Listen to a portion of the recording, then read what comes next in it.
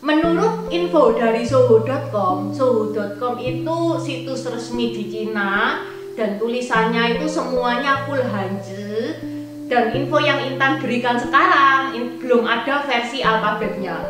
Seiring dengan semakin meningkatnya perhatian masyarakat terhadap pelestarian kesehatan, sekarang ini di Cina ada kue bulan dengan bahan obat-obatan yang berharga seperti abalone, sirip ikan hiu, ginseng, sarang bulung walet.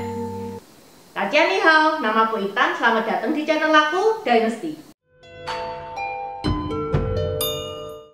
Hari ini Intan mau bahas request dari Wirawan Samsung tentang kue bulan. Intan sengaja dulukan request kue bulan ini soalnya memang momennya pas. Sebentar lagi kita merayakan festival kue bulan. Mungkin ada teman-teman yang belum tahu apa sih festival kue bulan itu. Festival kue bulan itu adalah perayaan saat kehadiran bulan purnama penuh. Dan yang merayakan ini bukan cuma di mainland Cina doang guys. Di mana ada etnis Tionghoa, di situ dirayakan festival kue bulan.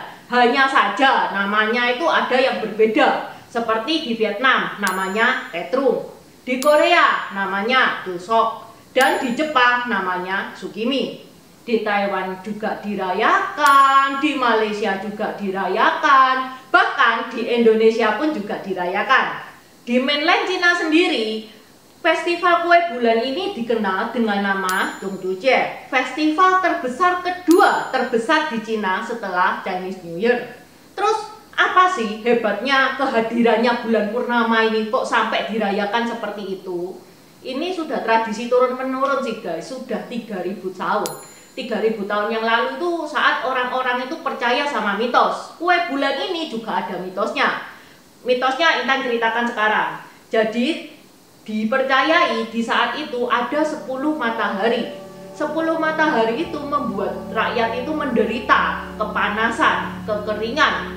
Ada seorang tokoh namanya Boyi dia pemanah yang hebat Woyi ini memanah 9 dari 10 matahari. Satu disisakan untuk menerangi bumi.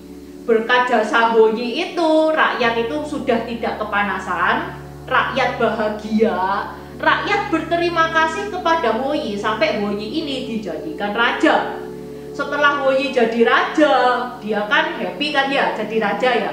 Dia itu minta obat abadi kepada dewa Siwanmu sama Dewa Siwangmu ini dikasih obat keabadian dikasih.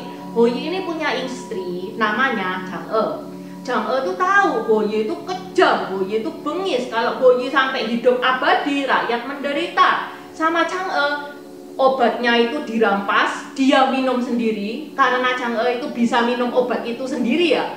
Karena Chang'e itu minum obat itu sendiri otomatis dia itu bisa terbang. Chang'e terbang dan Chang'e mendarat di bulan. Dipercayai saat Chang'e terbang dan mendarat ke bulan itu, itu tanggal 15 Agustus kalender Cina. Rakyat itu gembira karena nggak lama kemudian Yi meninggal dunia kan. Dan lalu rakyat itu memberi persembahan setiap tanggal 15 Agustus untuk memperingati aksi dari Chang'e. Tahu nggak teman-teman, gara-gara legendanya Chang'e ini sampai program misi ke bulannya di Cina. Jadi NASA-nya Cina itu ya, sampai pesawatnya itu dinamai Chang'e. Dan sudah ada lima pesawat Chang'e yang mendarat di bulan. Pada waktu dinasti Shang, dinasti Shang itu dinasti kedua di Cina ya. Perayaan bulan purnama ini sebagai wujud syukur musim panen yang berlimpah karena bulan purnama ini munculnya itu di musim gugur atau musim panen. Di tahun 2021 ini, jadi tahun ini ya, Festival Kue Bulan jatuh pada tanggal 21 September. Sebentar lagi nih guys. Di mainland Cina sana, tanggal 19 sampai 21 itu diliburkan, orang-orang diliburkan. Karena itu memang waktunya untuk merayakan kue bulan saat berkumpul dengan keluarga, terus makan bersama keluarga. Ada satu aturan wajib di festival kue bulan ini. Setiap anggota keluarga harus makan kue bulan. Buat teman-teman yang nggak tahu kue bulan itu apa, ini ya kue bulan. Kayak gini bentuknya. tapi yo nggak harus satu full gini ndak ini yo diiris dibagi-bagi tapi kalau Intan disuruh makan satu full gini Intan bisa kok. Kue bulan ini bentuknya itu bulat. Bulat itu mewakili berkumpulnya sebuah keluarga yang utuh. Dan yang biasa orang-orang lakukan di festival kue bulan ini orang-orang itu ngatur meja di luar rumah. Ini orang-orang yang mainland Cina itu ya ngatur meja di luar rumah, dikasih berbagai hidangan termasuk kue bulan, disembayangi. Habis gitu duduk bersama keluarga sambil makan-makan, sambil menikmati indahnya bulan purnama. Karena bulan purnama saat itu tuh lagi terang-terangnya, lagi gede-gedenya, lagi cantik-cantiknya.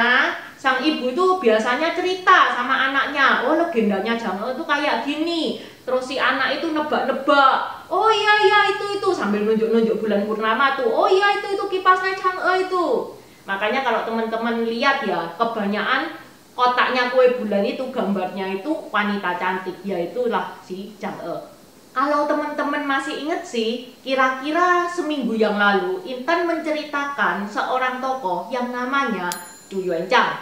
Chu Yuanchang ini pendiri dinasti Ming. Chu Yuanchang ini itu beraksi saat Tiongkok itu dikuasai oleh Mongol, yaitu dinasti Yuan. Saat Tiongkok diduduki Mongol, sekutu Chu Yuanchang yang bernama Lu Bowen itu menyebarkan gosip bahwa ada penyakit yang nggak bisa disembuhkan dan hanya bisa dicegah dengan makan kue bulan. Jadi Bowen itu mulai membagi-bagikan kue bulan secara gratis kepada orang-orang. Ternyata di dalam kue bulan itu itu ada suratnya.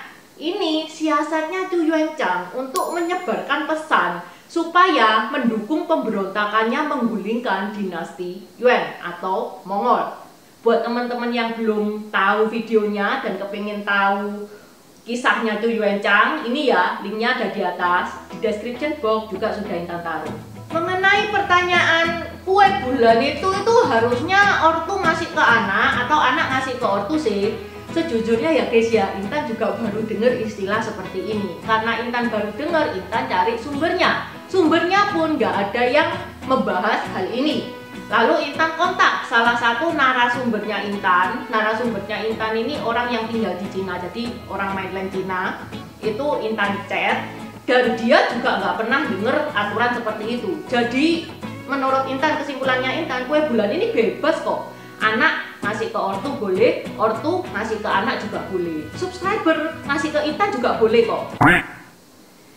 Kue bulan ini dari waktu ke waktu itu semakin banyak improvisasi ya dari bentuk, dari rasanya, kalau basicnya sih kue bulan itu ada dua macam. Yang pertama itu namanya pia. Itu bentuknya itu pipi, lebar, kulitnya itu warna putih dan keras. Feelingnya pun juga agak padat.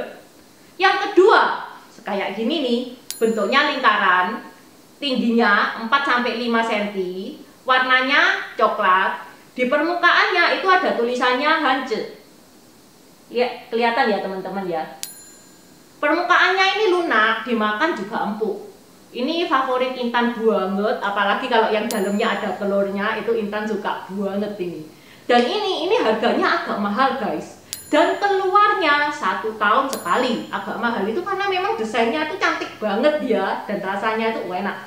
Tapi sekarang ini banyak ya diimprovisasi lebih modern itu banyak. Jadi kue-kue kayak gini tuh nggak harus coklat, ada yang warna pink, warna hijau. Feelingnya itu juga mengalami banyak improvisasi. Jadi yang dulunya itu cuma kacang merah, kacang-kacangan, sekarang itu sudah ada daging-dagingan. Menurut info dari soho.com, soho.com itu situs resmi di Cina dan tulisannya itu semuanya full hanzi dan info yang Intan berikan sekarang belum ada versi alfabetnya.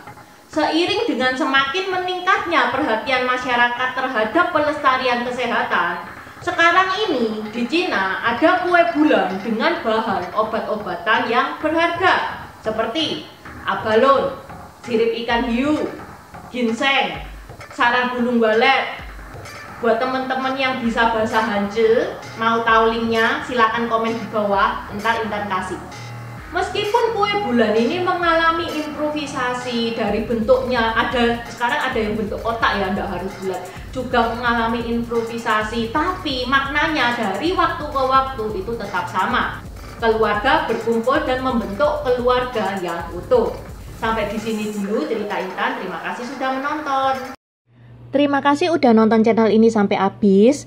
Dukung aku terus berkarya dengan klik subscribe dan bunyikan lonceng di bawah ya guys.